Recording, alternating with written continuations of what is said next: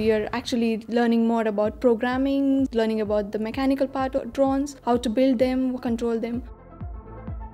You can hardly think of anything these days that doesn't have electronics in it. Lecturers like Ian, been through industry and they know and they link course content to industry. The thing I like most about my course is the variety. So we're doing a bit of everything, maths, engineering, science, computer-aided design work.